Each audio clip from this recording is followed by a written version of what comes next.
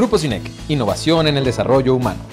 En un mundo globalizado en el que se busca solidez para alcanzar sus objetivos, es necesario contar con grandes equipos de trabajo para obtener soluciones. En Grupo CINEC encontrará al aliado que le ayudará a dedicarse a realizar sus competencias clave, aumentando sus utilidades y eficiencia.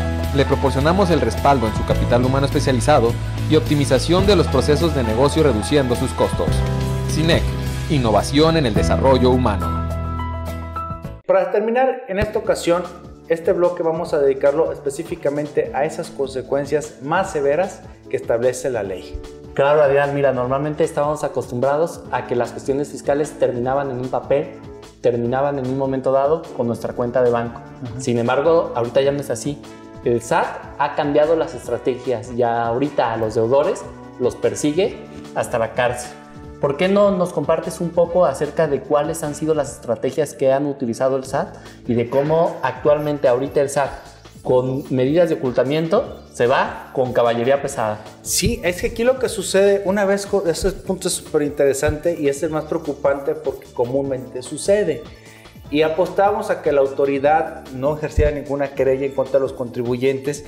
Sin embargo, ya ahorita reitero, con el nuevo reglamento interior del SAT, ya se establecen como unidades desconcentradas, ya tienen facultades para formular querellas las jurídicas.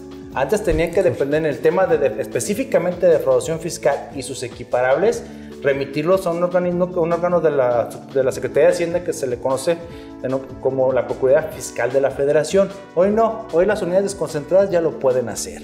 Esto es importante porque va a ser más reactiva, ha aumentado el trabajo en la, en la Procuraduría General de la República respecto a querellas formuladas por, por el propio SAT, ya sin que intervenga la Procuraduría Fiscal.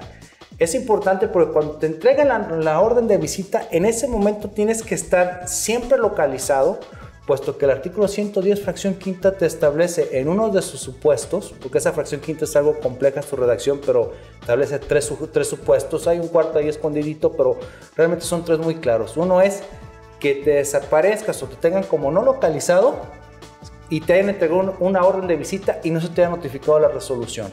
O sea, así o más fácil te le pones a la autoridad para que presenten la querella. ¿Qué tienen que demostrar? Fui y notifiqué y entregué una orden de visita. Ya tengo la primera parte del tipo penal. Segunda, fui a tratar de notificar o, proseguir con la orden de visita y no pude levantar eh, acta porque ya no te localicé levantan algo que se le llama informe de asunto no diligenciado, circunstancia en todo en un acta y con ello tengo dos elementos, orden de visita abierta sin resolución y estatus de no localizado. Aquí están mis elementos, que serían cuestionables, que en otro tema lo tocaremos, pero ya llega hasta el punto penal, pero de una manera muy franca.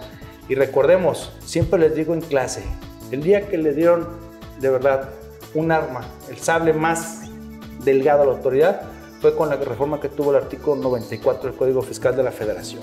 Y pongo a mis, a mis alumnos a ver, léanlo, derogado. ¿Y por qué? Dice, ¿por qué es el arma más grande que tuvo? Porque antes, antes del 28 de junio de 2006, ese artículo te decía, tú SAT cobra tus impuestos. Tienes todas las herramientas y tienes un, un, ordenamiento que te da, te da cómo hacerlo. Y tú, juez penal, califica la conducta. Si es delictiva, sancionalo con una privación de libertad. Al quitarlo, ¡pum! se acabó la limitante que tenía el juez penal para condenar por los daños, los daños ocasionados por la responsabilidad penal a través de tus actos ilícitos. Ahora el juez penal lo puede hacer. Antes, por un lado, decías, bueno, pues quedó insolvente, este, más queda la cuestión penal y me voy a la cárcel, se acabó. Pero ahora, te vas a la cárcel, y tienes que reparar los daños y perjuicios. ¿Y qué equivale en materia fiscal? A las contribuciones. Oye, Adrián, pero dicen algunos empresarios, esa responsabilidad penal es para el administrador, para el contador, pero recordemos que es para todos, para el asesor de impuestos que les vendió la factura chueca, para el empresario, para quienes puede ser esa responsabilidad penal.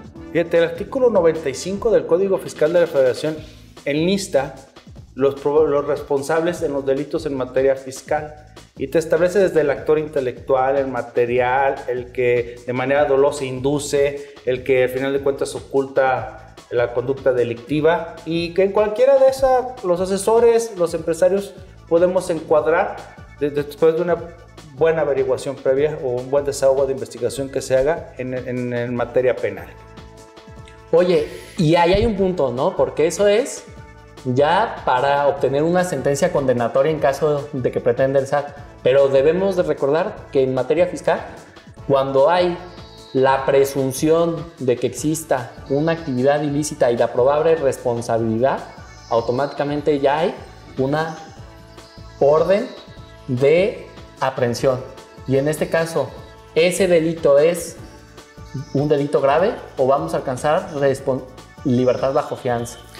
Es delicado el tema porque desde un peso, si hay una conducta contraria a la ley o, que, o que actualice un tipo penal, desde un peso es fraude. Sin embargo, esta diferencia que haces, es decir, bueno, cuando es grave y no grave, te va a dar el beneficio de una libertad condicional, es decir, que lleves el juicio penal fuera de cárcel, dejando una, una fianza, una caución, ¿sí? y el monto no es, no es muy elevado, son dos millones y medio aproximadamente. Entonces, vea qué delicada es esta situación, Jorge, lo que destacas. También los asesores tenemos una responsabilidad, por ello tenemos que tomar decisiones sanas y conducentes al éxito de los, de los negocios, pero como negocios, no como maquinaria de comisión de delitos. Bien, Jorge, ¿alguna recomendación para cerrar esta ocasión? Pues que si valoran su libertad personal, atiendan al SAT porque el no atenderlos es fraude.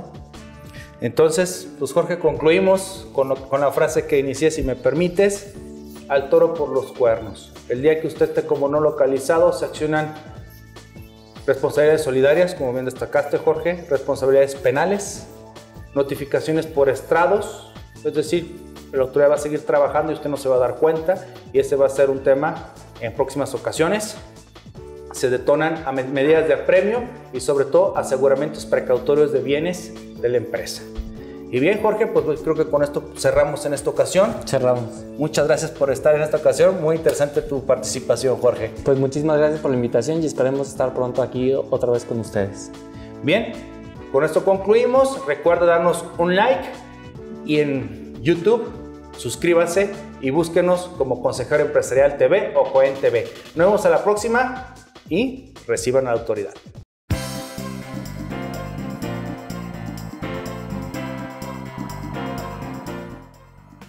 DLC Corporativo, Capital Humano con Soluciones, presentó.